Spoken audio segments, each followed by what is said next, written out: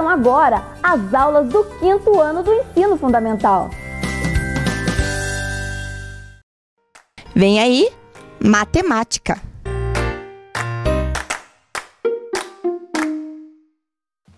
Olá, crianças! Tudo bem com vocês? Bem-vindos aqui a mais uma aula de matemática com a professora Ana Lee. E hoje nós vamos continuar fazendo atividades aqui para a gente ficar super fera na matemática. Pelo nosso esforço. Lembra que a professora sempre fala isso para vocês. Se a gente se esforça, a gente consegue aprender muito, mesmo que a gente erre, tá bom? Essa é uma condição necessária aqui para as nossas aulas. Temos que nos esforçar. Se a gente errar, a gente apaga e arruma. Combinado? Ótimo! Então vamos ver o que nós vamos ver na aula de hoje? Vamos lá? Então hoje nós vamos trabalhar né, com as identificações das equivalências entre as frações. Então nós vamos trabalhar com frações equivalentes. Nós vamos reconhecer frações decimais como frações com denominadores de 10, de 100 e de 1000, associando aos números decimais. Vamos resolver problemas de divisão com números naturais e vamos identificar múltiplos e divisores de um número natural. Então, tudo isso nós vamos fazer na aula de hoje, com as atividades aqui com a professora. Então fica ligadinho, pega o seu lápis, seu caderno, faz aí, a gente vai fazer algumas, alguns rabiscos, a gente vai fazer algumas anotações, mas isso daí é pra gente ficar ainda mais fera naquela aprendizagem que a gente já fez dessas, dessas temáticas que a gente trouxe na aula de hoje. Feito? Muito bem, então vamos ver a primeiro, o que a gente vai fazer por primeiro, vamos lá? Então, nosso primeiro momento é trabalhar com as equivalências entre frações. Então, nós vamos trabalhar com as frações do hexágono. Sabe o que é o hexágono, né? Hexágono é uma figura plana de seis lados. Então, essas pecinhas que nós estamos vendo aqui na telinha, nós vamos usar com a professora lá na bancada para trabalhar com as frações equivalentes. Vamos lá comigo? Então estamos aqui ó, com as pecinhas do, do hexágono, né? todos eles, a professora colocou aqui várias pecinhas dos hexágonos para vocês identificarem agora as equivalências. Primeiro, o hexágono, o inteiro é esse aqui, né? Então nós temos aqui ó, um inteiro. Esse um inteiro é sem repartir, ó. Ele não tá nem um pouquinho dividido, tá vendo? Ele tá inteiro. Então, o hexágono inteiro. Aí nós temos a fração aqui, ó, que a gente dividiu ao meio, ó, são dois pedaços e ele equivale, ó, se eu colocar essa pecinha em cima e essa aqui também em cima do hexágono, vocês vão ver que elas são exatamente do mesmo tamanho, ó. Então, as, os dois pedacinhos aqui, né, esses dois pedacinhos, equivalem a um inteiro do hexágono. E se eu tirar só esse pedacinho que eu quero, só a metade, esta, essa metade vai corresponder a um meio, né? Então, ó, um meio significa esse tamanho aqui, que é o tamanho só da metade, ok? Muito bem. Então, agora nós vamos pegar outra, outras equivalências aqui, ó. A professora vai voltar aqui nessa. Vamos pegar essas pecinhas azuis. Vamos colocar sobre o nosso hexágono, ó. Duas, mais uma, três. Então aqui eu tenho três partes, né? Uma, duas, três, são equivalentes ao inteiro. As três juntas valem um inteiro. Agora, se eu tirar duas, né? Vamos voltar as duas lá para baixo, né? Para responder agora essa questão aqui, ó. Eu tenho uma parte daquelas três que eu tinha. Então, eu tenho aqui um terço. Lembrando? Ótimo, um terço. Maravilha. Agora, vamos pegar a outra parte lá do laranja agora, né? Vamos pegar aqui essas partes laranjas. A professora vai trazer aqui, ó. São quatro partes, estão vendo? E a professora vai colocar essas quatro partes sobre o hexágono, para vocês verificarem a equivalência das quatro partes. Opa! Aqui. Ó, colocamos as quatro partes. Então, os quatro quartos são exatamente o inteiro, né? E se eu tiro aqui três partes, vamos voltar com elas lá para baixo. Vamos deixar só uma parte. Então, eu tenho uma parte daquelas quatro. Eu tenho um quarto do hexágono. Entenderam isso? Ótimo! Agora nós vamos pegar a última parte aqui, a verde, né? Essa parte colorida aqui de verde. Eu vou por aqui, três pedaços, ó, são três triângulos grudadinhos. E mais os três triângulos grudadinhos ali. Então, eu tenho aqui, ó, seis pedacinhos. Um, dois, três, quatro, cinco, seis pedacinhos que formam o hexágono inteiro, né? E se eu tirar, né, deixar aqui só um pedacinho, vamos tirar aqui os outros, deixar só um. Se eu deixar só um pedacinho, eu vou ter exatamente um sexto do hexágono. Verificaram isso? Ótimo! Então agora nós vamos trabalhar com as equivalências aqui. Então se a professora pegar, por exemplo, né, a metade, só a metade. Vou pegar só esse pedacinho da metade aqui. Ótimo. Se eu pegar só a metade, quanto que eu vou ter que pegar, por exemplo, aqui do laranja para ficar igualzinho à metade? Ah, então olha aqui, a pessoa já vai pegar para vocês verem pronto aqui já, ó. Eu tive que pegar dois laranjas para corresponder ao mesmo tamanho. Vocês estão vendo que vale a mesma coisa, o mesmo tamanho? Então, se vale a mesma coisa, o mesmo tamanho, significa que elas são equivalentes. Então, olha qual é a fração?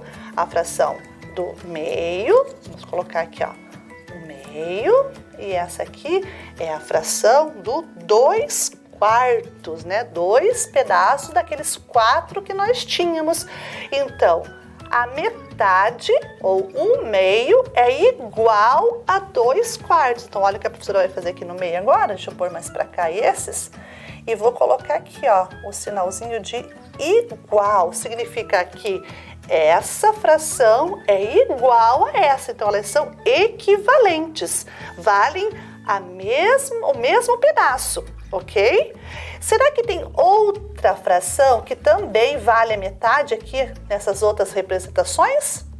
Então, a professora vai tirar agora essa aqui do 2 quartos, vamos tirar, e vamos pegar, por exemplo, essa outra aqui, ó, dos sextos, né, que era o verde lá que a gente tinha descoberto, né? que eram os cestos. Eu tenho quantos cestos aqui? Um, dois, três, que vale exatamente ao mesmo tamanho deste, desta metade. Então, eu tenho três das seis, eu tenho três cestos. Então, três cestos também equivale a metade. Eles são equivalentes, valem a mesma coisa. Entenderam isso? Ótimo! E agora, vamos tirar aqui essa do três, dos três sextos e a do meio, vamos tirar. E vamos pegar agora outra fração. Nós vamos pegar agora o inteiro e vamos pegar somente a do terço agora. Essa aqui que era um terço. Exatamente esse pedacinho. Então, vamos por aqui. Um terço. Agora, eu quero saber dos cestos. Quanto que eu vou pegar dos cestos? Então, vou pôr o inteiro de novo aqui. Eu quero pegar dos cestos. Quanto, quantos pedacinhos dos cestos eu tenho que pôr aqui para fazer esta fração do mesmo tamanho dessa fração aqui, ó? Ou seja, o mesmo tamanho de um terço. Vamos ver lá quantos que eu vou ter que pegar? Então, a professora vai pegar aqui as pecinhas verdes. Então, ó, eu tenho que pôr nessa mes no mesmo tamanho pôr mais uma aqui. Fechamos o mesmo tamanho? Fechamos, então aqui quantos cestos eu tenho ali? Isso, eu tenho dois cestos, ó, dois dos seis que cabem aqui, que é igual, ou seja, equivalente a um terço, ó. Elas estão o mesmo tamanho. Mas, professora, se eu colocar assim, ó, desse outro jeito, também vale dois cestos, é? o mesmo tamanho que tem lá na outra? O que, que vocês acham? Sim, ela só está colocada na posição diferente dessa, mas também equivale a um terço, que é o mesmo tamanho aqui, ó. Dois sextos equivale a um terço. Porque se eu mexer nessa aqui e colocar ela para cá, ó, vai dar exatamente a mesma que está ali. Então, a posição que eu coloco as pecinhas não interessa. Eu posso pôr ela em qualquer posição, desde que ela corresponda ao mesmo tamanho da fração. Então, quando eu faço isso, eu digo que essas frações são equivalentes, ok? Muito bem, então agora vamos fazer algumas atividades lá na telinha com a professora. Muito bem, então vamos fazer algumas atividades aqui com a professora agora. Então vamos lá, número 1 um aqui, ó. Observe na telinha de vocês. Observe os hexágonos. Qual é a fração da parte pintada de cada um deles? Então veja o que nós fizemos lá na mesa, né? É bem parecido. Então nós temos ali três figuras hexagonais, ou três hexágonos. Cada um deles foi dividido em algumas partes distintas, né? E depois foi pintado. Foi pintado exatamente a mesma parte, só com tamanhos diferentes. Qual é a fração de cada um deles? Como que vocês acham que é? Olha lá a primeira. A primeira é como? Tem um inteiro dividido em duas partes. Ótimo. A segunda é o inteiro dividido em seis partes. E o último é o inteiro dividido em, conte lá, 1, 2, 3, 4, 5, 6, 7, 8, 9, 10, 11, 12. Então, o último é 12 partes. Na primeira, no primeiro hexágono, eu pintei a metade. No segundo, eu também pintei a metade. E no terceiro, também a metade. Só que são frações de, de, números diferentes, né? Nós vamos representar agora essas frações que são equivalentes, mas todas vão, vão ser representadas pela metade. Vamos lá, a primeira é um meio, a segunda é três sextos e a terceira é seis dozeavos. Então observe ali nos números, ó. O numerador é a metade do denominador, observaram ali? Ó, o 1 um é metade do 2. O 3 é metade do 6. O 6 é metade do 12. Então, toda vez que eu for representar uma fração que representa né, a metade, isso vai se manter. O numerador vai ser sempre a metade do denominador, tá? Todas essas frações representam a metade do inteiro. Ótimo! E o que podemos dizer então nessas frações? Nós podemos dizer que são frações que representam o mesmo tamanho do inteiro. Por isso, são frações equivalentes. Vamos para a próxima atividade agora? Vamos lá. Agora nós temos aí, ó, uma atividade também sobre o hexágono, né? Que nós estamos trabalhando com ele hoje. Para vocês perceberem que nem sempre a gente tem frações só do círculo, ou frações só do quadrado, ou frações só de retângulos. A gente pode fazer frações de qual qualquer inteiro, né? Então a professora hoje trouxe hexágonos para vocês verificarem essa diferença também, que eu posso fazer frações de outras figuras. Muito bem, então vamos lá. Número 2, né? Luiz, Renata e Carla desenharam hexágonos do mesmo tamanho. Cada um deles dividiu a sua figura em partes iguais e pintou uma ou mais partes de azul, como vocês estão observando aí no desenho.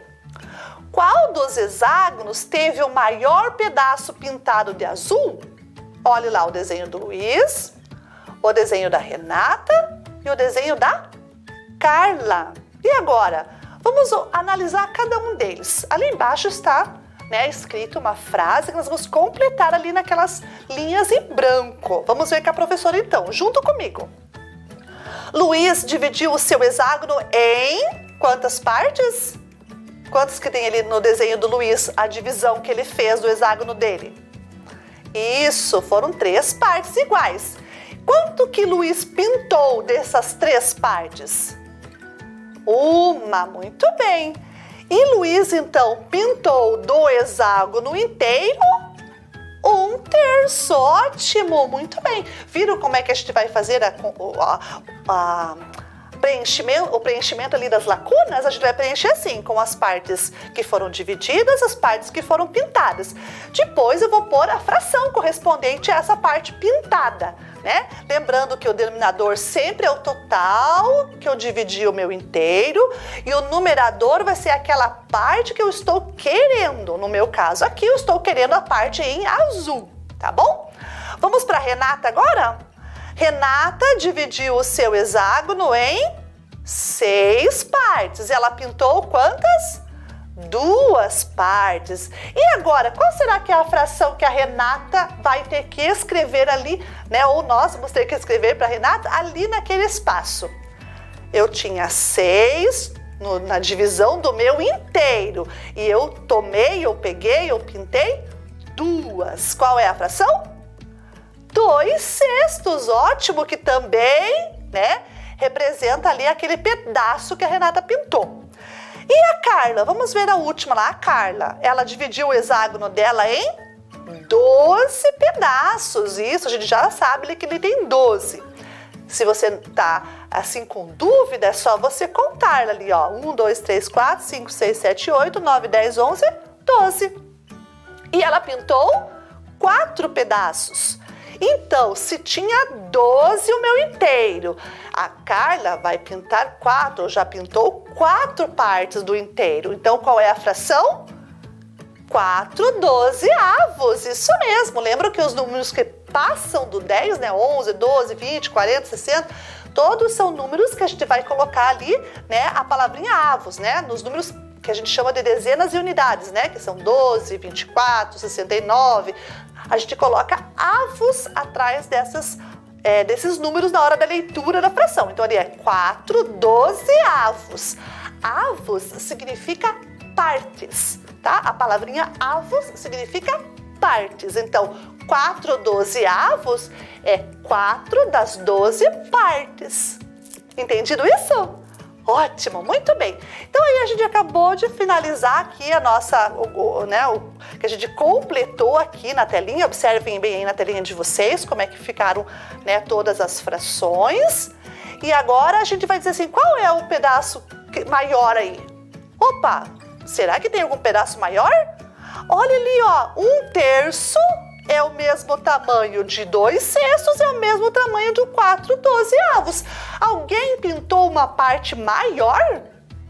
Não, por que, que não pintou? Porque essas frações são frações equivalentes, então eu não tenho, nesse caso, ninguém pintando parte maior, porque todas as frações são frações equivalentes.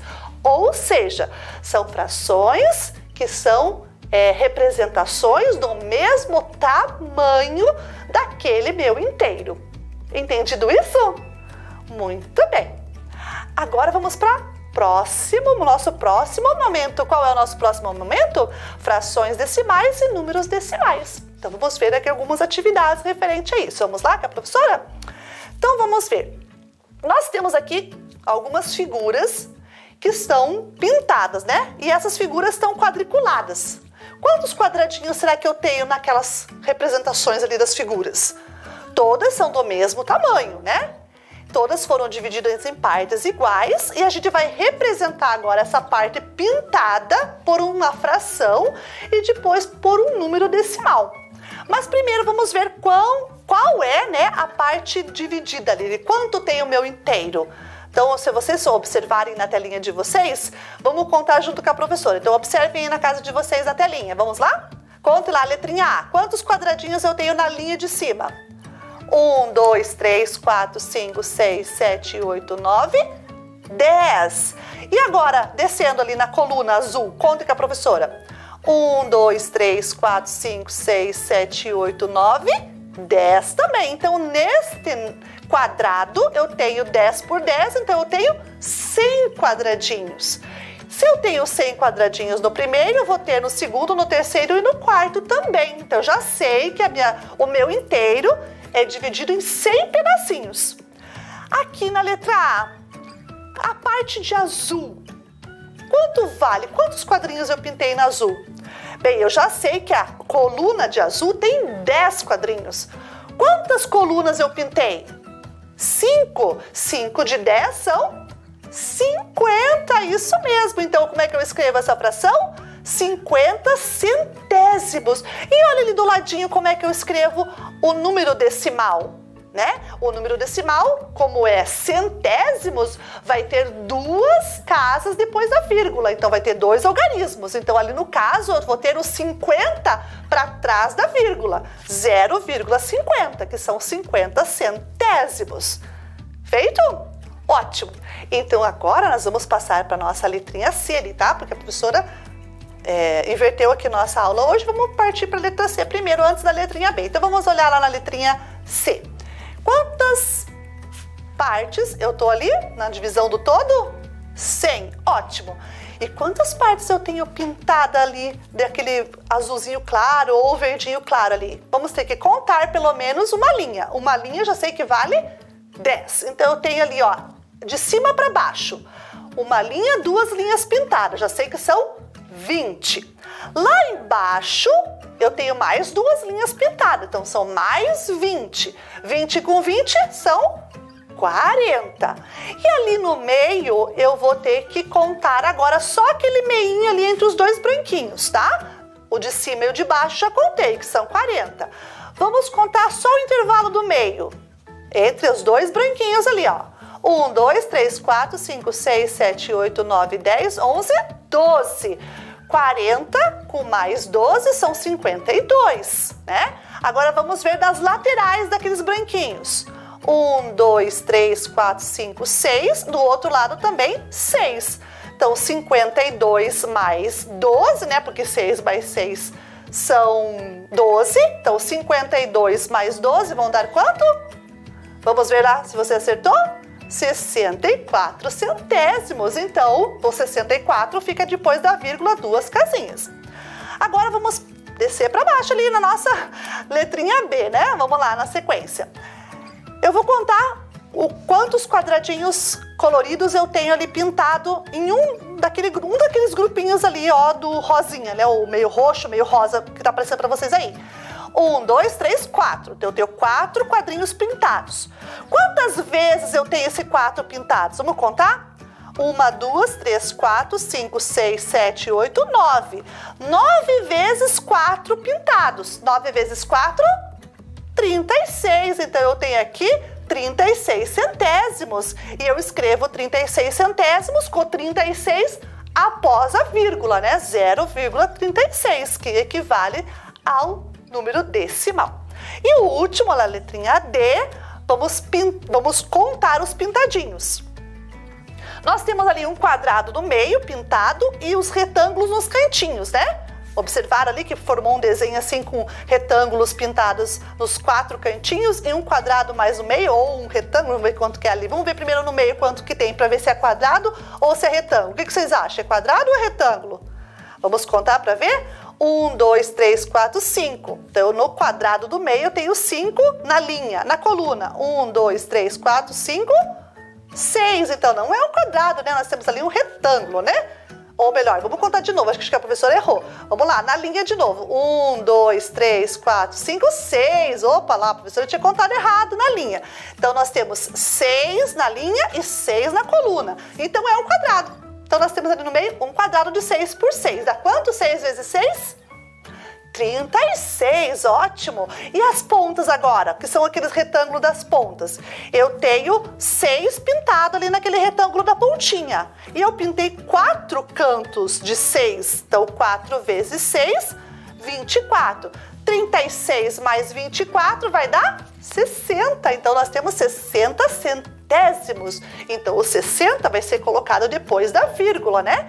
Então, 0,60 para a representação decimal desta fração de 60 centésimos. Compreenderam isso?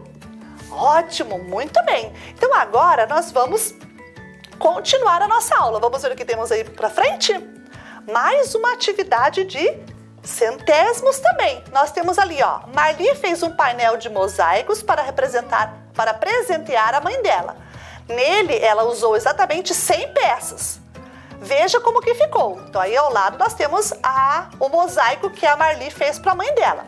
Escreva na forma de fração e na forma decimal a quantidade de peças de cada cor usada para fazer o mosaico.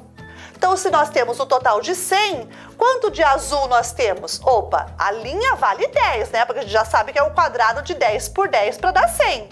Então, azul eu tenho duas linhas de 10 em cima, que dá 20, duas linhas de 10 embaixo, que dá mais 20. 20 mais 20, 40. Então, no azul nós temos 40 centésimos. Ótimo! E no laranja? Bem, o laranja nós temos ali duas colunas, né? Do la dos lados, vamos contar ali uma das colunas. 1, 2, 3, 4, 5, 6, 7, 8, 9, 10, 11, 12. 12 laranjas de um lado. Então, lá do outro lado eu vou ter outros 12. 12 mais 12, 24. Então, ficou 24 centésimos. Muito bem. Agora vamos para o marrom. Bem, o marrom é aquele contorno ali do meio. Estão vendo no meio ali que tem um contorno de um quadrado marrom? Vamos contar quanto que tem ali naquele contorno agora? Um, dois, três, quatro, cinco, seis. Continuando agora para baixo. 7, 8, 9, 10, 11. Continuando agora na linha. 12, 13, 14, 15, 16. Subindo agora. 17, 18, 19, 20. Então eu tenho quanto de marrom? 20 centésimos. A gente escreve 0,20. E o verde? Bem, no verde nós vamos ver ali no meio, né? Que parece ali uma é uma letra Z deitada, né? Vamos ver ali quantos quadrinhos verdes eu pintei. Ou melhor, a Marli, né, fez no mosaico dela. Uma, duas, três, quatro, cinco, seis, sete, oito, nove, dez, onze, doze. Então, o verde nós temos 12 centésimos, ou 0,12. E o roxo? Ah, o roxo tá muito fácil, né? O roxo são 4 dos 100, ou seja, 4 centésimos. Mas olha que legal agora como é que a gente escreve o 4 centésimos. Não é 0,4, é 0,04, porque centésimos são duas casas depois da vírgula, não é uma só. Se eu colocar 0,4, eu vou ter, estou falando de 4 décimos. E eu não quero 4 décimos, eu quero 4 centésimos. Por isso que eu tenho que colocar aquele zerinho na frente do 4 ali depois da vírgula. 0,04. Viram isso? Ok, muito bem. Vamos para o próximo momento da nossa aula? Então, o nosso terceiro momento são problemas de divisão. Nós vamos resolver agora um, um probleminha envolvendo a divisão. E vamos lá junto comigo? Vamos lá? Qual que é o probleminha? Então está aí. Wagner pretende dividir igualmente 3.618 pacotes de doce em três caixas para serem transportadas até o supermercado. Quantos pacotes ele deverá colocar em cada caixa? Então, nós temos 360, desculpe, 3.618 pacotes para de, serem distribuídos em três caixas. Como que a gente vai fazer isso quando a gente tem que distribuir em três caixas? Isso, nós vamos fazer uma divisão, né? Sempre quando a gente for distribuir, repartir, a gente tem que fazer essa, ter a ideia da divisão. Mas para resolver esse problema, nós temos diversos caminhos. Né? Você pode estar pensando na sua casa uma maneira diferente de tentar resolver o problema. A gente tem várias maneiras. Hoje a professora trouxe aqui um painel de soluções para vocês. E para a gente resolver esse painel, a professora vai mostrar o que, que nós temos que levar em conta né, na escrita do problema. O que, que a gente tem que levar em conta? Ó, dividir igualmente 3.618 pacotes em três caixas.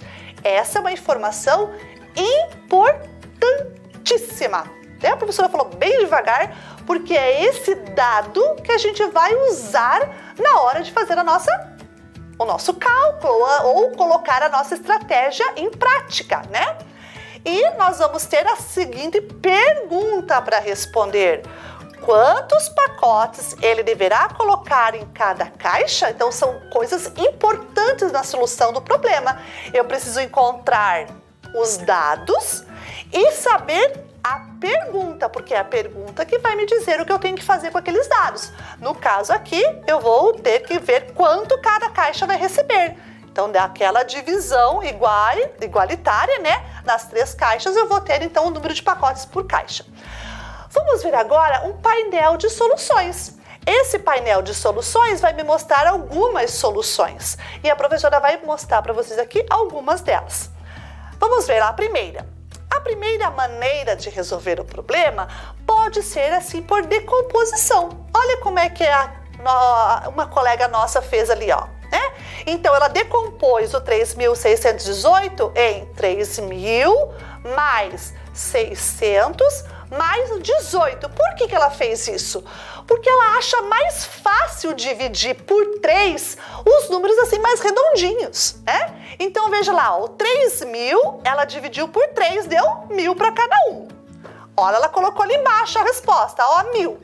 O 600 ela dividiu também por 3 e deu para cada um 200. Então, olha como é fácil para ela fazer essa operação. Até ela faz de cabeça. Não precisa nem armar, né? Então, o 3 mil por 3 dá mil para cada um. O 600 por 3 dá 200 para cada um. E o 18 por 3 ela sabe muito bem a tabuada do 3, né? De cor já. E ela sabe que na tabuada do 3, se eu multiplicar o 3 por 6 ou o 6 por 3, eu vou ter o 18. Então ela colocou, colocou ali, ó, 18 divididos por 3 é igual a 6. Somando tudo, 1000 mais 200 mais 6, 1206. E a resposta do problema é: ele deve colocar 1206 pacotes em cada caixa. Beleza?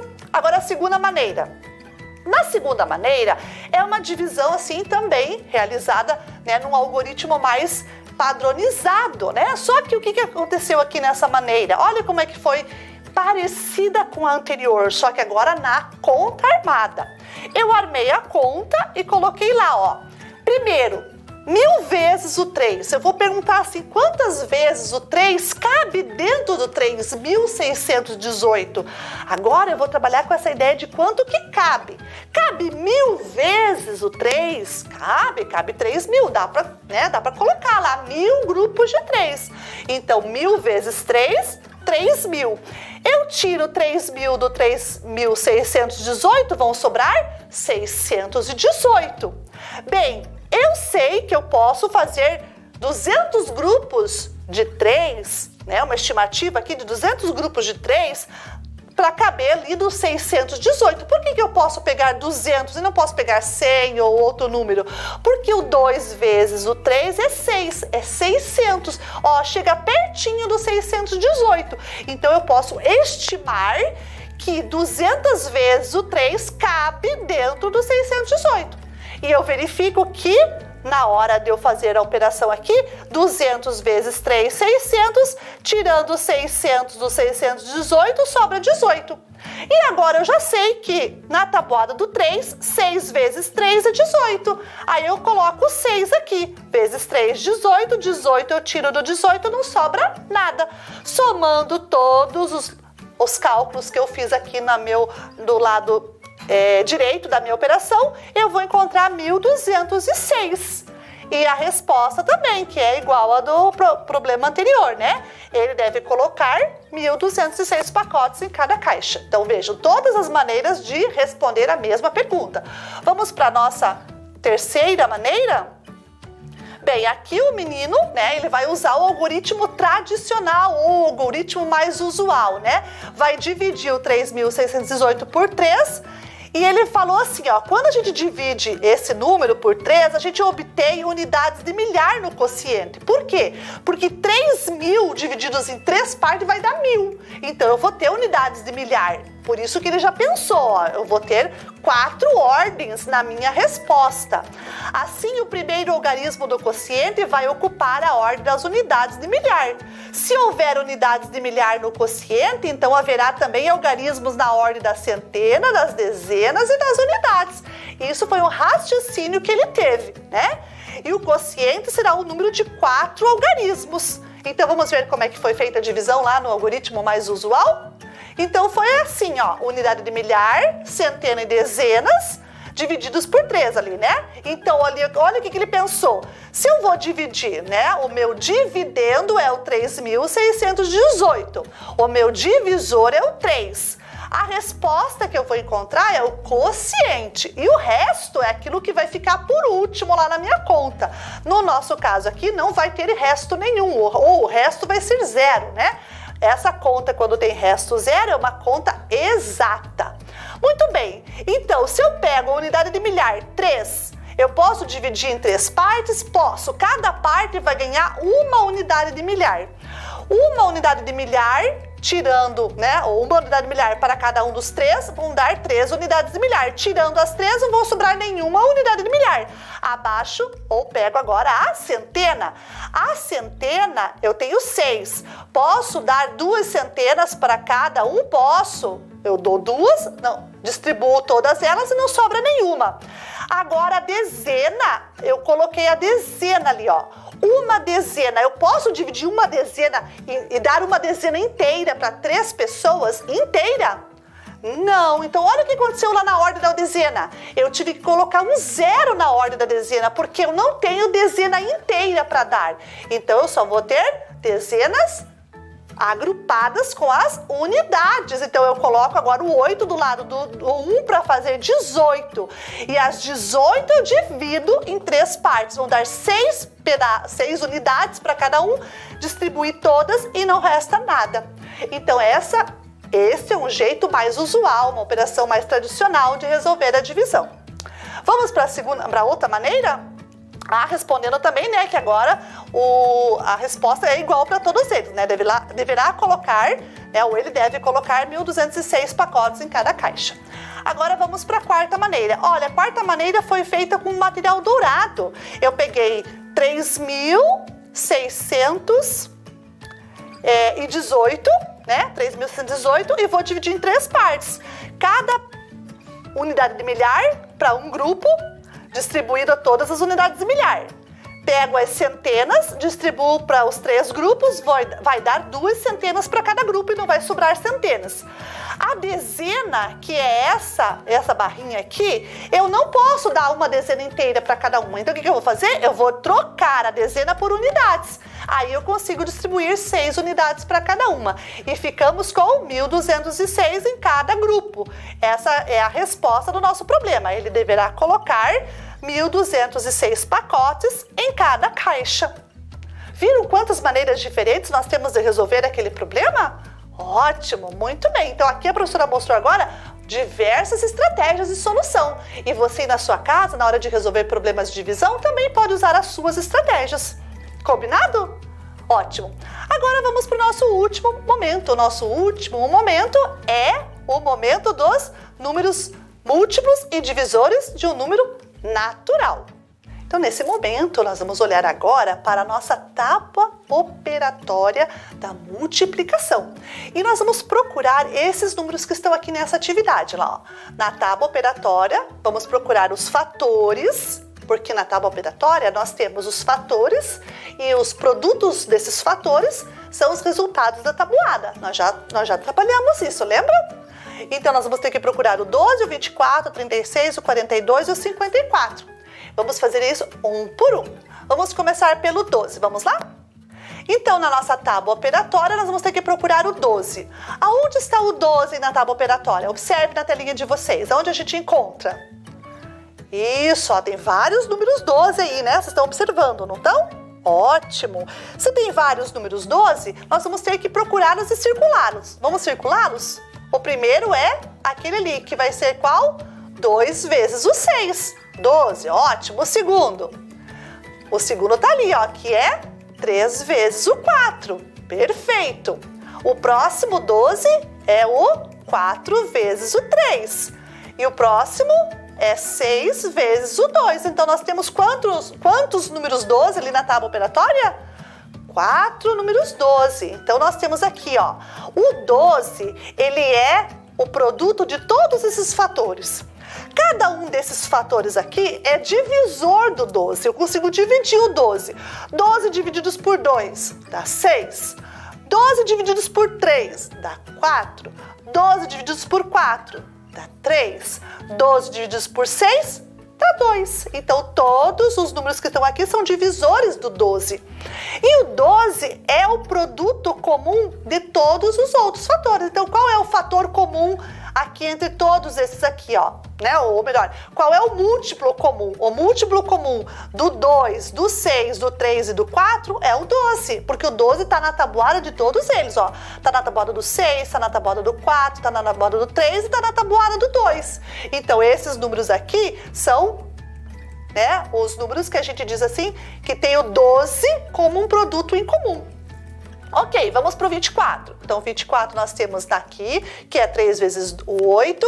Nós temos aqui, que é 4 vezes o 6. Nós temos também nessa outra linha, que é 6 vezes o 4. E temos também aqui, que é 8 vezes o 3. Então, o 24, ele é um múltiplo comum do 3, do 4, do 6 e do 8 nesta tábua operatória. Porque o 24 também é múltiplo do 2, só que o 2 é lá 2 vezes o 12, né? E o 12 nós não estamos enxergando aqui na nossa tábua operatória, mas ele existe também. Mas enfim, então o 24 aqui nessa tábua operatória é múltiplo do 3, do 8, do 4 e do 6. E todos esses números são divisores de 24. 24 divididos por 3 dá 8. 24 divididos por 4 dá 6. 24 divididos por 6 dá 4. 24 divididos por 8 dá 3. Isso? Ótimo. Agora vamos para o 36. O 36 está aqui, que é 4 vezes o 9, está aqui, que são 6 vezes o 6, e também está aqui, que é 9 vezes o 4. A mesma coisa do 24 e do 12 acontece no 36. O 36 é um múltiplo comum entre eles. O 36 está na tabuada do 4, está na tabuada do 6 e também está na tabuada do 9. Então, o 4, o 6 e o 9 são divisores do 36. 36 divididos por 4 vai dar 9, 36 divididos por 6 vai dar 6, 36 divididos por 9 vai dar 4. Feito? Agora vamos para o outro número, 42. O 42 está nessa tabuada do 6 vezes o 7 e está também aqui no 7 vezes o 6. Vamos voltar aqui um pouquinho. No 42, vamos lá. Aqui nós temos o 42, 7 vezes o 6, e nós temos 6 vezes o 7. Então, as duas, as duas opções é o que nós temos para o 42. Então, 6 vezes 7, 42. 7 vezes 6 também 42. 42 é o múltiplo comum entre o 6 e o 7. E, dá, e o 6 e o 7 são divisores do 42. Agora vamos para o nosso último número, agora sim o 54. Vamos lá, 54 está onde? Nesta linha, 6 vezes 9. Aonde mais tem 54? No 9 vezes o 6. Apenas esses dois números que nós encontramos aqui, né, nessa tábua operatória. Na tábua, o 54 na tabuada do 6 e na tabuada do 9. Então, 54 é múltiplo tanto de 6 quanto de 9 ao mesmo tempo. E 54 divididos por 6 dá 9, 54 divididos por 9 dá 6. Então, o 6 e o 9 são divisores do 54. Aprenderam isso? Ótimo, muito bem. E tudo isso hoje nós estudamos, né, para fazer o quê? Para a gente aprender sobre frações equivalentes, que a gente fez lá na bancada com a professora. Nós trabalhamos com frações decimais e número decimais, quando a gente determinou lá naquela malha quadriculada que a Marli desenhou lá para a mãe dela, lembram? Ótimo. O problema de divisão, que a gente viu várias estratégias para a gente poder resolver um problema de divisão. E os múltiplos e os divisores, que agora a gente acabou de ver aí na nossa tábua operatória. Então, tudo isso a gente fez para a gente aprender e ficar mais fera ainda na nossa aula de matemática. Então, ó, parabéns pelo seu esforço, o seu esforço foi recompensado. Porque se você colocou esforço, tentou fazer e tentou acompanhar a professora aqui, tá valendo. Assim você conseguiu aprender um pouquinho mais.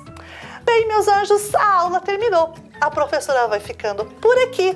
Vocês fiquem na sua casa, se cuidem. Um beijinho e até a nossa próxima aula.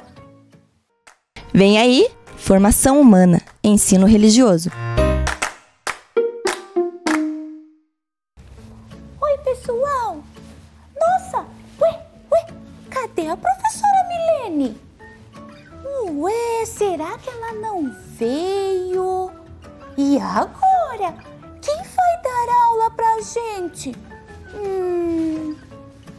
Puxa vida!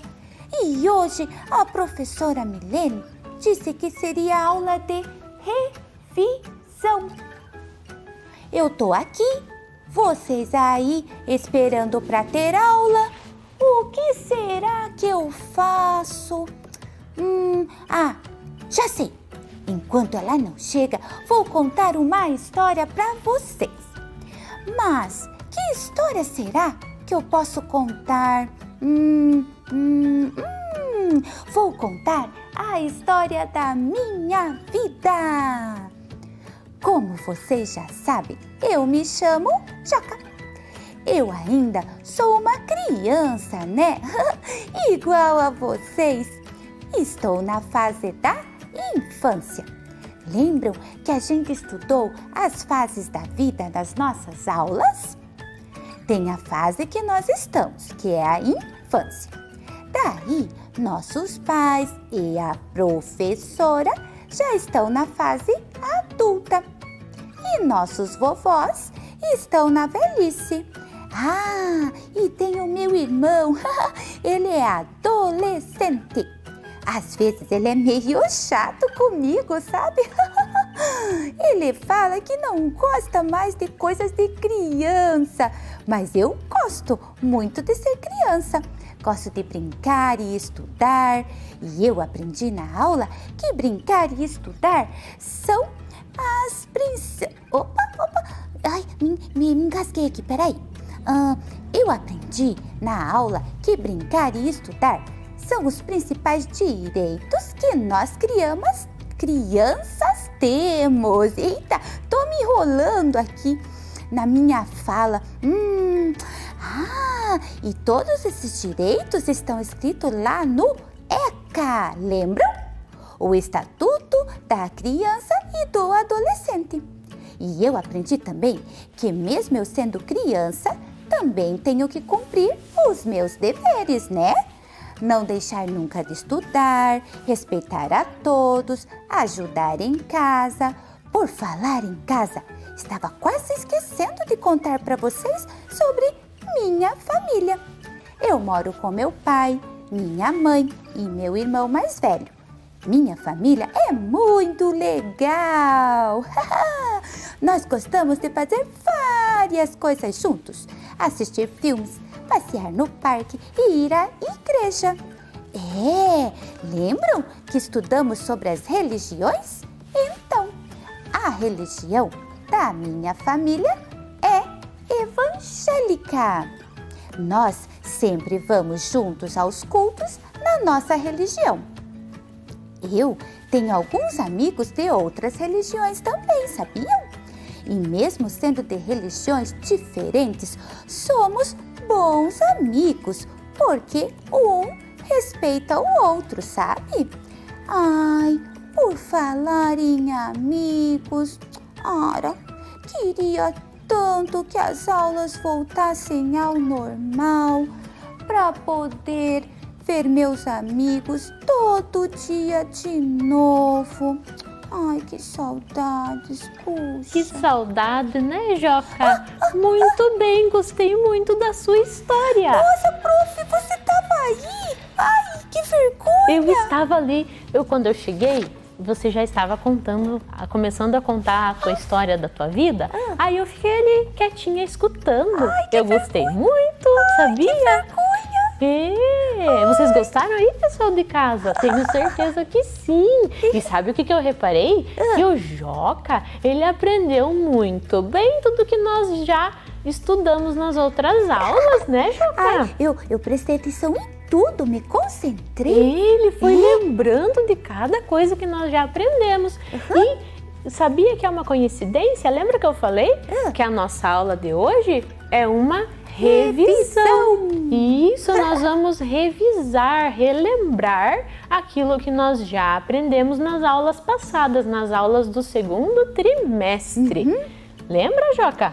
Ai, nós estudamos bastante Estudamos coisa. bastante É, coisas, Eu né? aprendi muito. Sim, então Uhum. hoje a gente vai relembrar rapidinho, né, um pouco do que nós já aprendemos nas nossas aulas, certo? Tá bom, certo. E foi bom começar com essa história tua, hein? Porque já ajudou a gente a refrescar a memória, não é mesmo? Ai, que bom. prof. Olha lá, então, para nossa aula, nós vamos precisar da folha né, de atividades que vocês receberam da escola, lápis, borracha, lápis de cor, depois para colorir, né? A professora vai dar um minutinho para vocês pegarem esse material. Tá bom.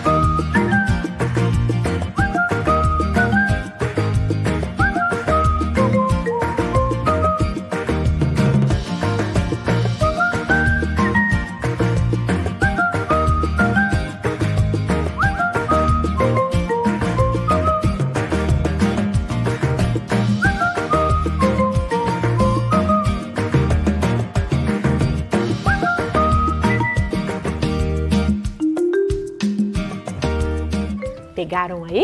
Sim. Sim, Joca? Olha lá então. Vamos ver qual é o objetivo da nossa aula? Vamos. Então, o objetivo é relembrar os temas trabalhados durante as aulas de formação humana e ensino religioso no segundo trimestre, no segundo trimestre, certo? Certo. Então, olha lá. E nós vamos começar relembrando bem sobre uma coisa que você falou lá no começo da tua história, sobre, as, sobre as fases da vida. Vida. Você falou que você está na fase da Infância. isso, e vocês aí de casa também, né? Ai, é Todas gostoso. as crianças que estão aí assistindo estão na fase da infância.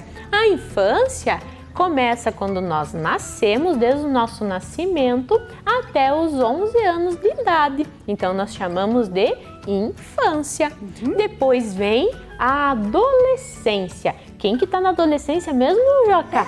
O meu irmão. Isso, Joca tem um irmão adolescente. Será que vocês aí em casa têm algum irmão adolescente também? Olha lá, a adolescência vai dos 12 até os 19 anos de idade.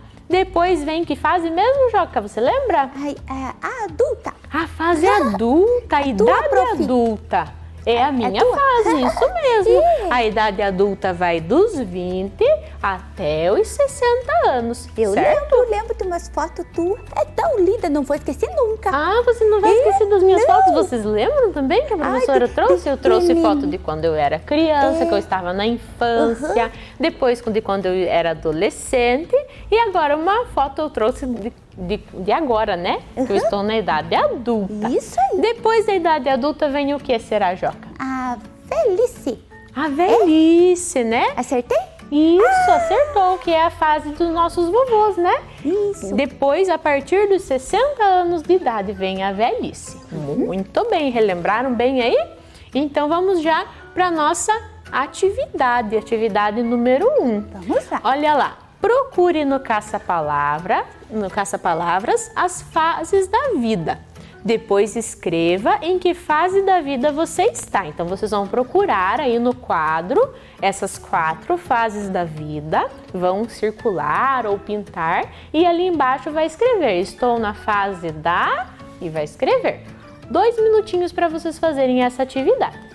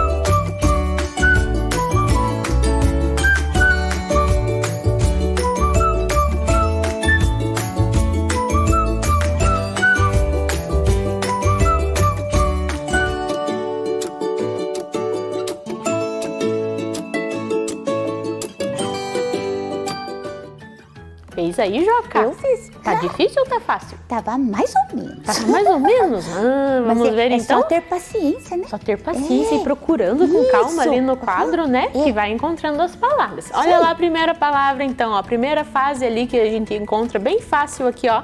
Ó. Isso. Velhice. Olha lá. Mais outra, olha lá. Infância. Uhum. Adolescência. Idade adulta. Estão todas as fases aí, Joca? É, sim? Não? Sim, né? Ó, Sim, sim, sim. infância, adolescência, idade adulta e por último a velhice. E eu E estou na fase da E eu estou na fase da infância. infância. Olha lá. Escreveram aí? Eu Então, escrevi. Escreveu? Eu caprichei na letra também. Caprichou? É. E você de casa tá caprichando na tua letra? Capricha bem, tá bom? Vamos continuar aqui então? Olha lá. Já que nós estamos falando da infância de vocês, das crianças, né? Nós já lembramos, né, que as crianças têm direitos e deveres que nós também estudamos nas nossas aulas sobre os direitos e deveres das crianças. Olha lá então, Joca. Direitos e deveres. O que será que são os direitos e deveres? Vamos relembrar então ali? Vamos, Vamos, ler? vamos. Direito é tudo que podemos fazer ou ter. Hum. E dever são as nossas obrigações. Então ali na imagem que a professora mostrou ali, ó, que tá aparecendo para vocês. A menininha levou o cachorrinho dela para passear. Todo mundo tem direito de levar o seu cachorrinho para passear, não tem direito? Tem sim. Mas qual que é o dever dela? Hum, deixa eu ver. Pensem aí eu aí. acho. Ai, deixa eu olhar ali. Hum, eu acho que o cachorro fez sujeirinha. Fez sujeirinha. e o dever dela, né? É de é recolher, Recolher.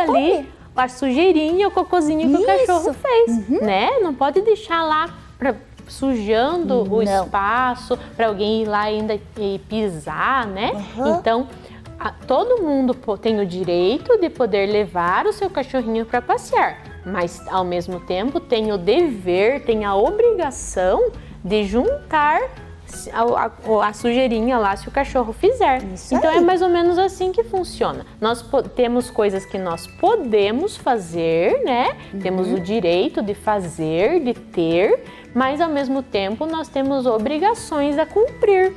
Certo, Isso Joca? aí, certíssimo. É mais ou menos como num jogo. Como, por exemplo, num jogo de futebol, né? Existem as regras. Regras. Aquilo que os jogadores podem fazer, aquilo que eles não podem fazer. E as regras ditam o jogo, né? Se não É. tivesse regras, ia ter como acontecer o eu jogo? E ia aconteceria ficar- o jogo? Será, Joca? Ai, eu acho que não, prof, ia virar uma bagunça, né? Cada um ia chutar e fazer o que Isso. quiser, né? Não. É verdade. Não. Cada um ia fazer o que achava, né? Aham. E daí não ia funcionar o jogo. Assim, então, são as regras e assim também são as leis. Então, existem leis que regem, né? O nosso país, a nossa vida. Em especial, né? As leis que falam sobre as crianças. Então, olha lá. Leis são regras, isto é, um conjunto de direitos e deveres que cada pessoa tem que seguir. Os direitos dos pequenos brasileiros estão garantidos no Estatuto da Criança e do Adolescente, mais conhecido como ECA. Lembram que o Joca comentou do ECA? Aham. Então, olha lá. O ECA, não é ECA de Eca nojo, a- ECA. Não. não. ECA porque é uma sigla, Isso. cada letra representa uma palavra. Então, olha lá. E de estatuto, Estatuto. C, criança, A, adolescente. Então, Estatuto da Criança e do Adolescente, o ECA, que são as leis que nos, nos dizem sobre os direitos e deveres das crianças e dos adolescentes. Certo, Joca? Certo. Certo, pessoal de casa? Relembraram mais ou menos? Vamos relembrar então quais são esses direitos e deveres que as crianças têm? Vamos. Olha lá.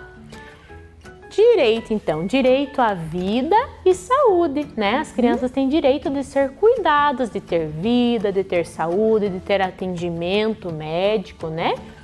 Então, esse é um direito das crianças. Direito à alimentação, receber alimentação certinho para poder crescer saudável, né, Joca? Você se alimenta bem? Eu sim. Muito É? bem. Direito a brincar, ao esporte e ao lazer. Então, um direito, né, de poder se divertir como criança, não é mesmo, Joca? Ai, é, muito tão bom, né? É ótimo. Gostoso. E olha lá. agora não dá muito, prof. Não dá muito, né, para ficar por aí brincando, mas dá para brincar dentro de casa, né? Uhum. Olha lá, tem também o direito à educação. Todas as crianças têm direito a receber educação.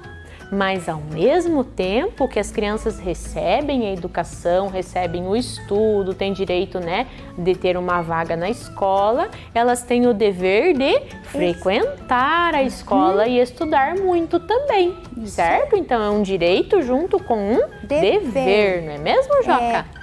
Só que agora tá um pouco diferente, né? Tá um pouquinho diferente. É, tá, né? Qual que é o direito que vocês estão tendo agora? Hum. Direito de assistir aqui, aqui as aulas aqui pela TV, as aulas que a escola manda às vezes, né, pelo Meet, pelo, pelos grupos, né? Pelo WhatsApp. É. E vocês têm o dever de estudar, né? De é. fazer as atividades, fazer as tarefas, acompanhar as aulas, né? Olha lá outro direito, direito ao respeito. E tem o dever também de respeitar as pessoas, só as pessoas, Joca? Não, né? Não, a, a natureza também, ali, né? Aquelas crianças lá abraçando a árvore, que lindo! Que lindo, é, né? Tá então respeitar da natureza. Isso, é? respeitar tudo à nossa uhum. volta.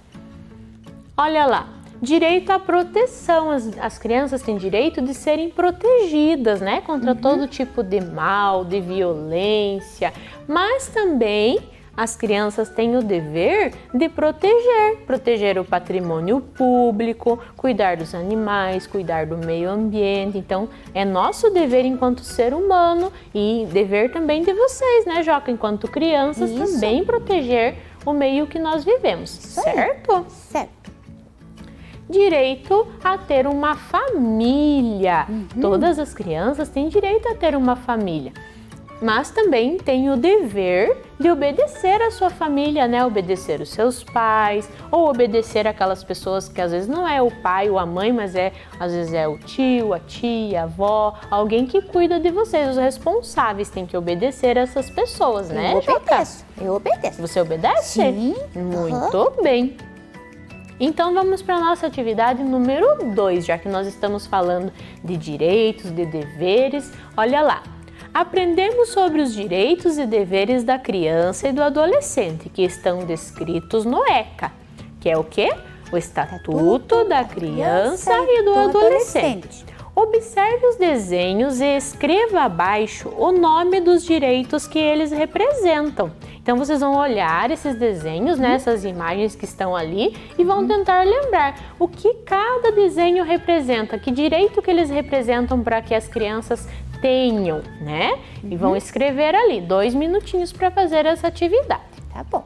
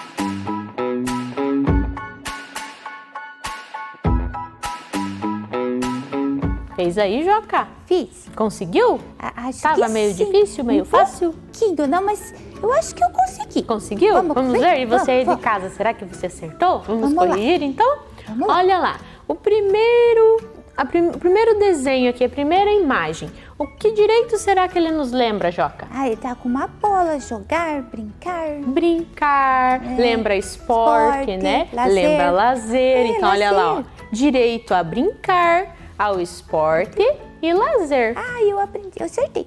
Isso. E a segunda ali? O que, que o menininho está fazendo? Estudando. Está estudando. Uhum. Então é o direito a ter o quê? Educação. Olha, até pulou o outro já. Educação. E o terceiro, o que está acontecendo ali com aquela criança? É um médico. O médico está cuidando da dela, cri- né? é, aham. Então, qual que é esse direito? É o direito de Saúde. vida E e, saúde, saúde. Uhum. né? A criança poder, né, ter ali toda um apoio para que ela seja medicada, para que ela seja cuidada, para que ela tenha vida e saúde, né? Uhum. E por último ali, Hum, família. família, né? Olha que É. legal aquela família ali, tá o vovô, a vovó junto, as crianças, a família, direito a ter uma família. Família. Muito bem, acertaram aí? E se se não acertou, corrige, bem bonitinho, arruma, certo? Vamos continuar? Vamos. E falando, né, que nós estávamos falando sobre os direitos e deveres, o direito de ter uma família, esse direito de ter uma família lembra também de um tema que nós trabalhamos, né, Joca? Hum, verdade. Que foi o tema, o que? A importância da a família. família. A importância de, de ter uma família e Isso. de cuidar bem dela, né, Joca? Isso aí. Olha lá. O que é família mesmo? Família são as pessoas unidas por laços afetivos que geralmente compartilham o mesmo espaço e mantêm entre si uma relação solidária. Então a família são essas pessoas com quem nós convivemos, moramos na mesma casa, né? E partilhamos de laços afetivos. O que quer dizer isso? Quer dizer que nós temos carinho uma pela, um pelo outro, que nós temos amor, que nós cuidamos uns dos outros dentro da nossa casa, dentro da nossa família. Na tua família é assim, Joca? Ah, é. Às vezes dá umas encrenquinhas lá com meu irmão. E às vezes você briga com o teu irmão? Mas, mas não é só rapidinho assim, sabe? É rapidinho, mas você gosta dele? Ai, eu amo, amo, amo. Ai, viu amo só? Isso é muito família. Por mais que às vezes acontece alguma, algum desentendimento, Uhum. mas a gente se ama, né? É. Acima de tudo, se ama, se cuida, cuida um do outro, se Papai, preocupa. da mamãe. Isso, isso mesmo. Uhum. Respeita, obedece. Então, essa é a nossa família, Isso né? aí. Independente de como ela seja. Se tem o papai, se tem a mamãe, às vezes não tem, às vezes É. tem uma vovó, uma titia que cuida de nós. É. Mas todas as famílias são cheias né, de cuidado e de amor, devem Bastante ser, né? família diferente, né? Sim, Vários tipos, aham. vários, vários, vários, vários.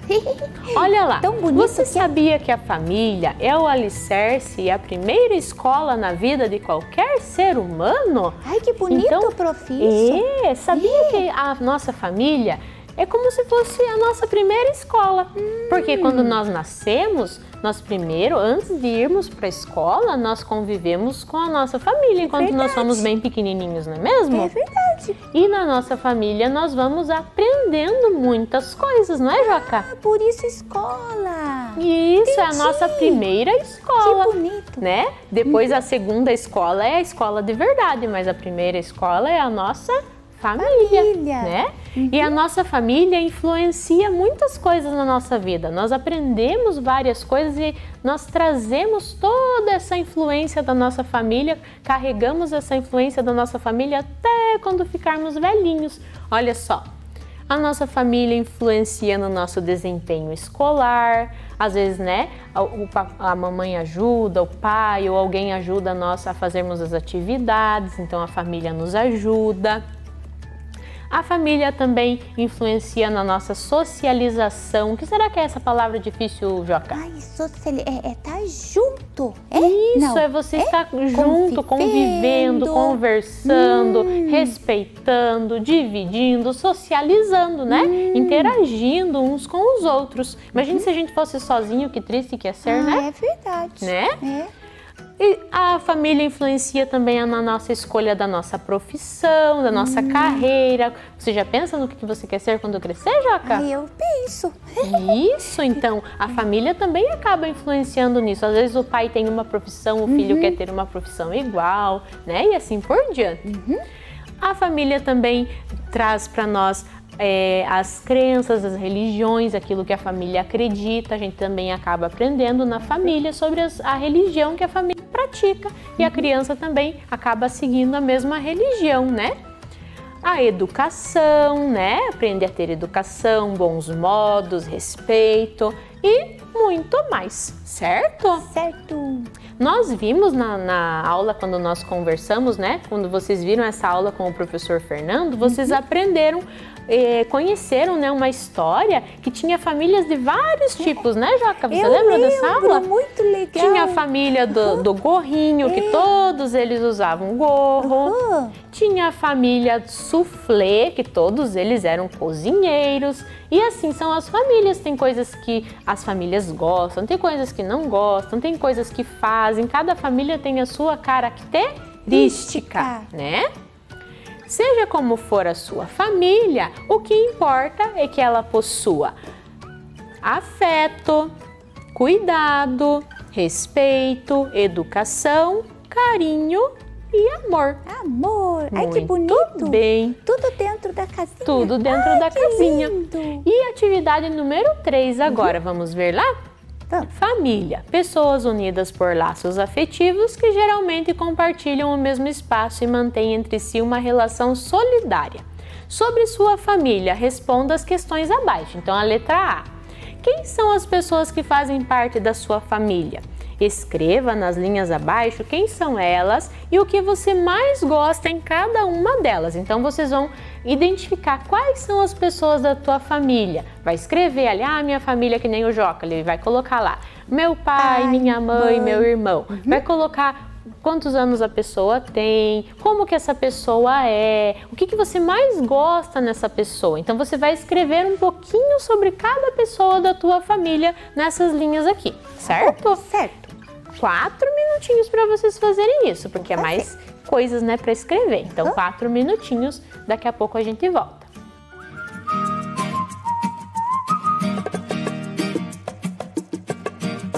Música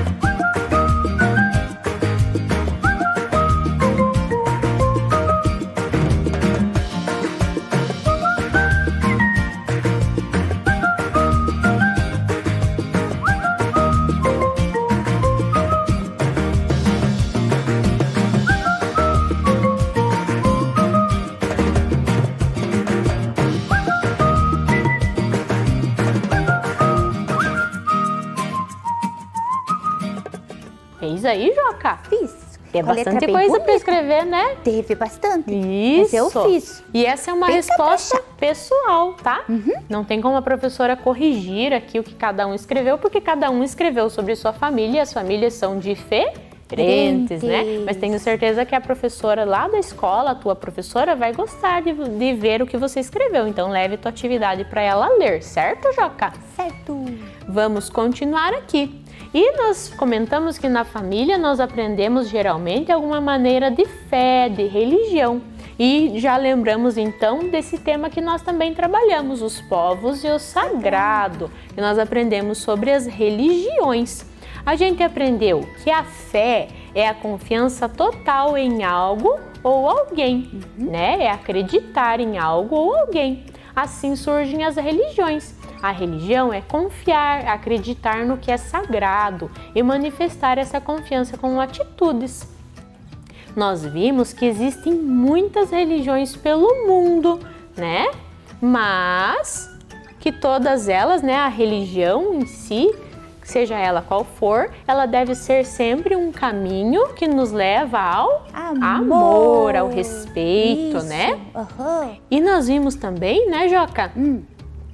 Que existem aquelas religiões que são as mais praticadas no mundo inteiro. E a gente foi conhecendo, né, Eu algumas dessas, né, as mais praticadas, que tem maior número de praticantes no mundo. O cristianismo, o islamismo, hinduísmo, as religiões chinesas, o budismo e o judaísmo.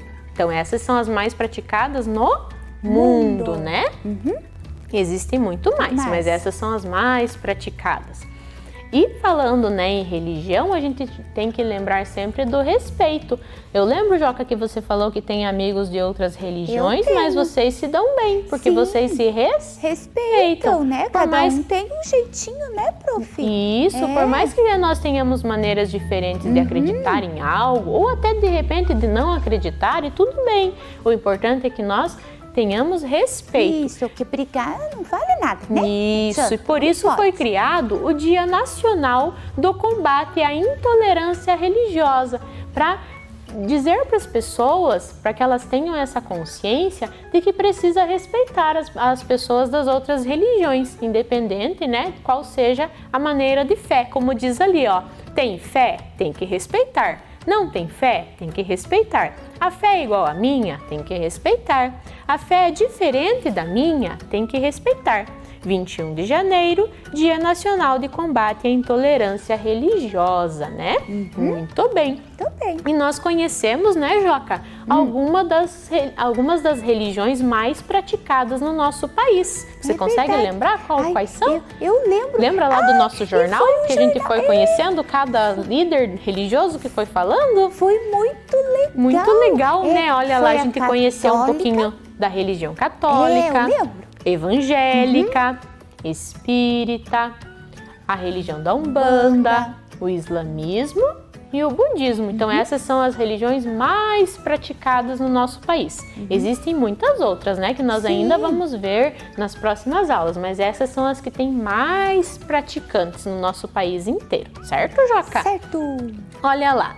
Então vamos para a nossa atividade número 3 na letra B. Nós já fizemos a letra A, agora a gente vai fazer a letra B. Em nossa aula, conhecemos as religiões que são mais praticadas no Brasil. Sua família pratica alguma dessas religiões? Se sim, marque alguma das opções abaixo. Então, ali estão as religiões, né, que nós comentamos no- durante as aulas, né? Católica, evangélica, espírita, umbanda, islamismo e budismo. Você vai marcar se sua família pratica alguma dessas religiões. Ah, não, professora, minha família é outra religião. Então, qual? Você vai colocar do lado ali. Ou então, não, professora, minha família não tem nenhuma religião específica, a gente não acredita. Então, vai marcar ali nenhuma religião, certo? Um minutinho então para fazer essa atividade.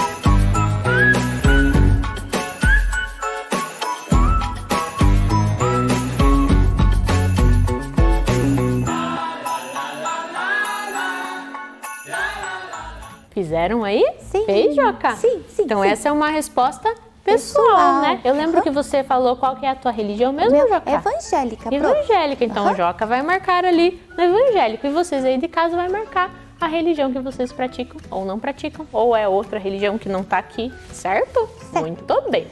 E será que nós alcançamos os objetivos da nossa aula? O objetivo, né? Sim, prof. Olha lá quanta coisa, né? Rapidinho a gente foi relembrando, né? Relembramos os temas trabalhados durante as aulas de formação humana e ensino religioso no segundo trimestre. Será que nós conseguimos relembrar? Sim. Sim, né? Olha lá, professora bem feliz que nós relembramos rapidinho, né? Vamos relembrando tudo.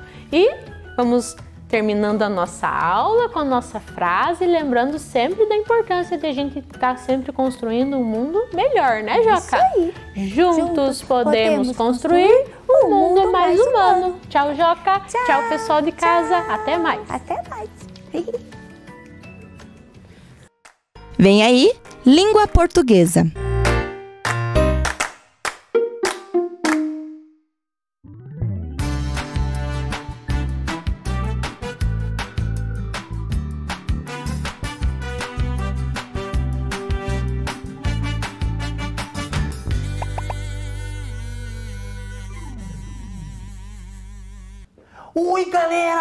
Que bom que você tá aqui de volta. A gente também voltou, né, Tibúrcia? Hum, a gente está aqui de novo para aprender junto com você. Eu gosto de aprender sempre, Tibúrcia, todos os dias. É, a vida, esparadrapo, é um eterno aprendizado, sabia? Isso, e eu já tava com saudade, Tibúrcia, dessa galerinha. Ai, eu também tô muito de saudade de vocês. Eles são fofinhos, Tibúrcia. Uhum. Olha que bonitinho sentadinho ali na frente da televisão para assistir, para aprender. Mas eu tô vendo que você tá fazendo bagunça, hein? Você ele Olha, também. ô, ô, ô, não coloca o dedo no nariz, não pode, a gente já falou sobre isso. Né, esparadrapo? mas se estiver incomodando, Tibúrcia? Passar álcool gel antes de colocar o dedo no nariz. Ah, você que era pra passar álcool em gel no nariz, Tibúrcia. Que medo. Mas limpa com papelzinho, né, esparadrapo? Ah, é verdade. é- é- tem que Pode suar. ficar futucando o nariz, né? É, e nem passar no colega depois, não pode. Não pode passar no colega. Não pode. Joga isso no lixo, né, Isso, isso. Porque às vezes fica grudadinho, por isso que não pode colocar o dedo no nariz. É, mas é só fazer assim, Tibúrcia.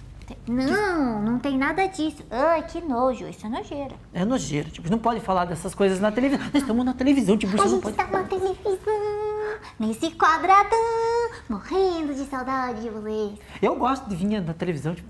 Eu também gosto, esparadrapo, porque assim dá pra ver tanta gente, né? A gente tá dentro da casa deles.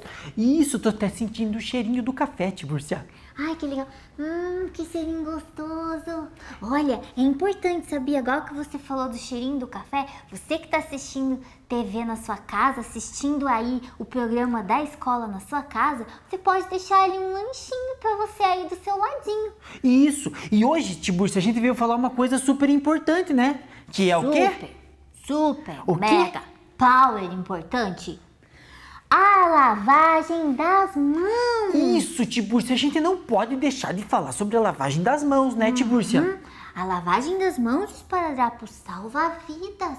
Isso, a gente consegue ficar muito mais seguro se a gente lavar as mãos, né, Tiburcia? Uhum, exatamente, esparadrapo. E olha, pra você que fica perdidinho na hora de lavar as suas mãos, sabe o que, que você pode fazer pra saber se você tá fazendo isso corretamente? O que, Tiburcia? Porque não é só ir lá, ligar a torneira, passar sabão, lava e tal e pronto, assim. Não é assim. Como assim? Se não é isso, o que, que é então? Não, tem todos os cuidados, porque você pode se contaminar de novo, ficar com a mão suja. Ah, é verdade, Tiburcia, isso que você tá dizendo. Uhum. Então você coloca o sabãozinho na sua mão. Você abre a torneira, molha a sua mão e fecha a torneira para não acabar com a água do planeta, né? Isso é importante, Tiburcia. E aí, para você saber se você tá lavando sua mão direitinho, O sabão já tá escorrendo da minha mão. tá, mas sabe quanto tempo demora para você saber? O tempo de cantar a música Parabéns. Sério, Tiburcia? Então você começa. Parabéns pra você nessa data querida. Muitas felicidades. Muita dor de barriga. Eu sei essa música também, Tiburcia. Pode até ser esparadrapo, mas esse é o tempo correto da lavagem das mãos, tá? Que legal, Água e sabão, Tiburcia. elas são amigos. Tem gente que só passa o sabão e não adianta nada. Mas, Tiburcia, eu tava aqui pensando, Tiburcia, se eu peguei com a minha mão suja na torneira, lavei a mão, eu não vou sujar de volta a hora que eu pegar na torneira? Porque você tem vários lugares que as torneiras são diferentes. Às vezes por isso que as pessoas fazem com o cotovelo. Ah, entendi. Mas o importante é que a higienização completa das mãos, ela termina depois que você passa o álcool gel, por causa disso. Porque você vai Ah. tocar na torneira de novo, pra fechar com as mãos limpas. Aí você vai secar a sua mãozinha e passar o álcool gel. Aí você está preparado. Ah, tá com uma, com uma capa de invisibilidade de vírus, né, Tiburcia? Uhum, porque o mocorongo vírus fica por aí. Então, tome cuidado. É verdade, Tiburcia, eu não gosto do mocorongo.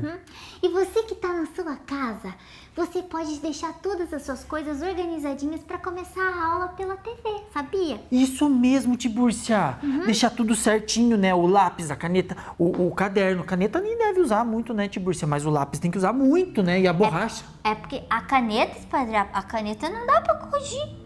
Se você errou com a caneta, você faz o maior borrão no caderno. É, isso mesmo. O certo, Tiburcia, é a gente ter um horário pra fazer as tarefas, não acha? Isso mesmo, porque daí, esparadrapo, se você deixar todos os seus materiais organizadinhos, começou a aula, você tá lá como super-herói que você é pra aprender e ficar sabidão. Terminou a aula, você faz suas tarefas, dá uma revisada em tudo que você assistiu e sobra tempo pra brincar. Aí sim, Tiburcia, porque eu gosto de brincar. Uhum. É porque não é porque a gente tá longe dos colegas que a gente não vai brincar. É verdade, Tiburcia, eu, eu tenho um monte de coisa pra brincar em casa. Ah, tem uma coisa também que tem que cuidar, Tiburcia.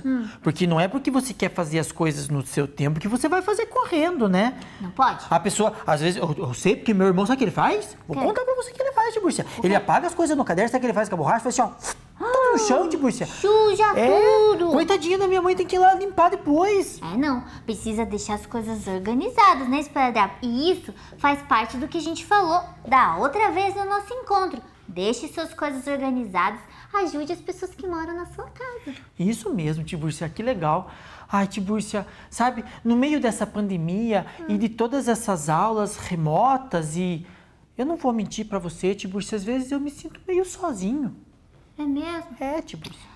Ai, esparadrapo, eu também sinto a maior falta, a maior saudade de todos os meus amigos, dos meus colegas. Isso. Eu até jogo bola sozinho lá no quintal de casa, fico chutando a bola na parede, mas a parede não é tão legal igual meus Ai, amigos. tá todo mundo se sentindo distante, esparadrapo. A solidão é a ausência das pessoas que a gente gosta, entendeu? É verdade, E aí a gente fica lá, nesse lugarzão, assim, parece que a gente tá sozinho no mundo, mas não tá. Eu tenho uma ideia pra acabar com essa solidão. O que, Tiburcia? Conversar é uma coisa muito boa que causa uma emoção positiva na gente. Você pode conversar com seus amigos à distância, né? Você pode conversar pelo computador, pelo WhatsApp, pode fazer uma chamadinha de vídeo depois de terminar suas tarefas. É, não pode ficar o dia inteiro, né, Tiburcia? Ou, ou então tem uma coisa bem legal, Esparadrapo. O quê? Você pode escrever uma carta. Sério que ainda dá pra escrever carta, Tiburcia? É e-mail, você tá dizendo? Não, uma carta. Aproveita, faz um desenho pro seu colega, faz um desenho pras pessoas que você gosta e manda pra eles. Que legal, Tiburcia. Eu tenho um super amigo, Tiburcia, o Maguito. Eu vou fazer pra ele um desenho. Ó, sabe o que, que é legal? Deixa as pessoas saberem que você tá com saudade delas. Elas também vão ficar com o coração quentinho, assim. Ah, Tiburcia, eu vou fazer isso. Que ideia genial, Tiburcia. Você merecia um prêmio hoje. É, toda vez que você sentir saudade de uma pessoa, fala pra ela: Ei, eu tô com saudade de você, sabia? Não vejo a hora da gente poder brincar juntos. Ai, Tiburcia, você me deu uma ótima ideia. Eu gostei. Eu gostei É, e vou começar a olha. fazer o desenho hoje na minha casa. E vou fazer um desenho bem bonito. E vou fazer um desenho bem diferentão, Tiburcia. Uhum, é isso aí, conversar com as pessoas, dizer que você sente saudade, traz uma emoção super positiva. E lembra, coleguinhas, emoções positivas aumentam a nossa imunidade. Ei, mas falando em emoção positiva, Tiburcia, na outra aula a gente falou uma coisa que traz emoção positiva. E hoje, o que, que nós vamos falar? Hoje, Sparadapa, a gente vai falar de uma coisa que você já disse. É importante você ter uma rotina e deixar os seus horários organizadinhos para sobrar tempo para brincar. Ah, Tibúrcia, isso traz mesmo uma emoção positiva, né? A gente se sente melhor por poder brincar, por poder estar fazendo tudo certinho na escola, né, Tibúrcia? É sim. Então, você pode deixar um horário para cada coisa. Assim, você não fica sobrecarregado de coisa para fazer, porque é importante. Pode ficar tanto tempo na frente da televisão. Veja, você já fica assistindo aula aqui na televisão. Quem tá fazendo aula assim, né? À distância. Então, é preciso que você organize os seus horários, coloca no caderno que horário que você vai brincar, que horário que você vai fazer uma leitura. Você falou lá de Tibúrcia. É, eu falei igual você falou. Aí eu vi. Tibúrcia, eu acho super legal esse negócio de se organizar. Quer ver? Eu vou te dar um exemplo. O meu pai é super organizado com as coisas dele, Tibúrcia. É verdade, ele coloca tudo certinho no lugarzinho. Então, é importante porque, sabe quando a gente arruma uma bagunça? Dá aquela sensação assim, ufa! Mas quando eu arrumo minhas coisas, Tibúrcia, eu não acho nada. Mas precisa organizar esse paradrapo. No meio da bagunça, a gente fica assim sobrecarregado. A minha mãe sempre organiza tudo, Tibúrcia. Olha só, criançada, é sempre muito bom organizar nossa rotina, ter horário para fazer as coisas, porque aí a gente fica bem tranquilo. Mas falando em horário, Tibúrcia, tá chegando o nosso horário, a gente tem que terminar. É horário da próxima aula. Isso! Fica aí, presta atenção no que a professora vai falar, vem aprender com a gente, porque agora também tem palhaço na escola. Aí é bonito, Tibúrcia. Uhum. Tchau, amigos, Tchau. até a próxima aula.